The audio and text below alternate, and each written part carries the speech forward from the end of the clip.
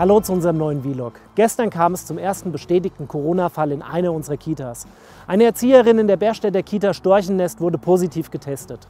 Unsere Fachbereichsleiterin Nicole Stelzner-Lehmann stand im direkten Austausch mit dem Gesundheitsamt, um die entsprechenden Schritte abzustimmen.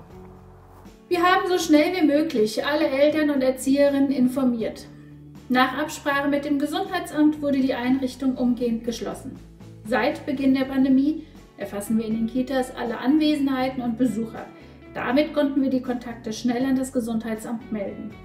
Bereits eine Stunde nach Bekanntwerden der Corona-Erkrankung konnte mit der Kontaktverfolgung begonnen werden.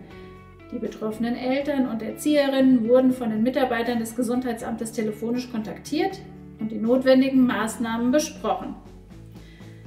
Fast alle Kinder und fast alle Mitarbeiter gelten als direkte Kontaktpersonen und müssen sich in häusliche Absonderung begeben. Um die Betreuung in den anderen Einrichtungen nicht zu gefährden, werden auch mögliche Geschwisterkinder derzeit nicht betreut. An dieser Stelle möchte ich allen Beteiligten, Eltern, Erzieherinnen und natürlich auch unserer Fachbereichsleiterin Nicole Stelzner-Lehmann danken. Die vergangenen Wochen haben gezeigt, dass es keine Selbstverständlichkeit ist, in einer solchen Situation ruhig, zielorientiert und sachlich zu bleiben. Besonders danken möchte ich aber auch den Mitarbeiterinnen und Mitarbeitern des Gesundheitsamtes, die momentan auch vor großen Herausforderungen stehen, an ihrer Kapazitätsgrenze arbeiten und einen wirklich wichtigen Beitrag leisten. Danke und viele Grüße aus Wölversheim ins Landratsamt. Wie wichtig es ist, dass unser Bauhof einsatzfähig bleibt, hat sich vor einigen Tagen gezeigt. Aufgrund eines Wasserrohrbruchs musste die Wasserversorgung im Ortsteil Melbach kurzfristig eingestellt werden und der Schaden konnte glücklicherweise schnell behoben werden. Nachdem in der vergangenen Woche die Bäume im Rahmen unserer Sammelbestellung ausgeliefert waren, hat der Bauhof mit den Neuanpflanzungen der Gemeinde begonnen. An den verschiedensten Stellen in der Gemeinde wurden neue Bäume gepflanzt oder Ersatzpflanzungen vorgenommen. Alle, die sich bei uns als Baumpaten gemeldet haben, werden wir in den nächsten Wochen noch kontaktieren. Fast alle Veranstaltungen wurden abgesagt. Einige kreative Köpfe aus Södel hatten die Idee, einen Drive-In-Weihnachtsmarkt zu realisieren, der an diesem Wochenende stattfindet. Man fährt mit dem Auto durch das weihnachtlich gestaltete Gelände, bestellt etwas und wird am Auto bedient. Es gibt zum Beispiel deftige Suppen vom Hermanns, Crepe, Popcorn und gebrannte Mandeln vom Crepe Café Hettenbach, Bratwurst, Steaks und Glühwein vom Biergarte und heißen Apfelwein und Honig von 61200. Damit nicht alle auf einmal kommen und ein Verkehrschaos in Södel ausbricht, ist eine Anmeldung notwendig. In einem Zeitfenster ist nur eine begrenzte Zahl von Fahrzeugen möglich. Meldet euch jetzt online an und unterstützt damit auch unsere Gastronomen vor Ort. Eine andere weihnachtliche Aktion ist unser Adventskalender und dafür müssen wir noch Gewinner auslosen, wofür wir aber ins Rathaus wechseln.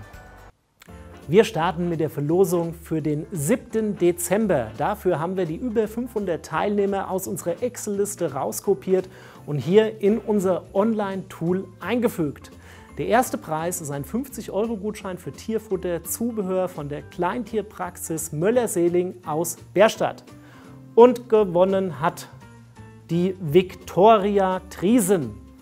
Der zweite Preis ist ein 24 Euro Einkaufsgutschein vom Zentrum für Bürotechnik und den gewinnt die Aline Hofmann. Herzlichen Glückwunsch. Der dritte Preis ist ein 5 Euro Gutschein von Hinnerbecker und den gewinnt die Melanie Häuser. Und der nächste Preis ist ein Set aus sechs Wölversheim Apfelweingläsern und die gehen an die Julia Lux. Herzlichen Glückwunsch. Und dann haben wir als nächstes unsere Plätzchenausstecher, die neuen mit den Wölversheim-Logos. Die geht an die Jasmin Groß. Herzlichen Glückwunsch. Und als letztes haben wir einen von 10.000 Bäumen. Und diesen Baum gewinnt die Silvia Mück. Herzlichen Glückwunsch, liebe Silvia. Am 8. Dezember hatten wir eine kleine Umfrage gestartet. An dieser Stelle vielen Dank an die mehr als 500 Teilnehmer. Da so viele von euch mitgemacht haben, dauert es ein paar Wochen, bis wir alle Antworten im Detail gesichtet haben. Beim Überfliegen haben wir aber schon einige gute Vorschläge gelesen, die wir im kommenden Jahr umsetzen wollen.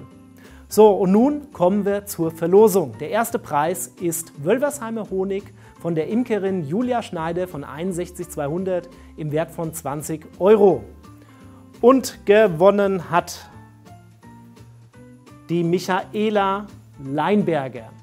Der zweite Preis ist ein 24 Euro Einkaufsgutschein vom Zentrum für Bürotechnik. Und der geht an den Klaus Zinsheimer. Der nächste Preis, eine 5 Euro Gutscheinkarte vom Hinnerbäcker, geht an die Sarah Kempen und die Plätzchenausstecher gehen an die Daniela Stadtmüller und einen von 10.000 Bäumen verlosen wir an die Rita Koch. Herzlichen Glückwunsch an alle Gewinner. Und wir werden die Gewinner in den nächsten Tagen nochmal mit entsprechenden Informationen kontaktieren. Noch nicht in der Verlosung dabei haben wir unseren neuen Wölversheim Mundschutz, den ihr ab sofort beim Edeka Markt Pfeife in Bärstadt und online bei Robin Bußart bekommt. Das war's für diese Woche. Vergesst den Daumen nach oben nicht, abonniert jetzt den Kanal und aktiviert auch die Glocke, um nichts mehr zu verpassen. Bis zum nächsten Mal. Tschüss, macht's gut und bleibt vor allem gesund.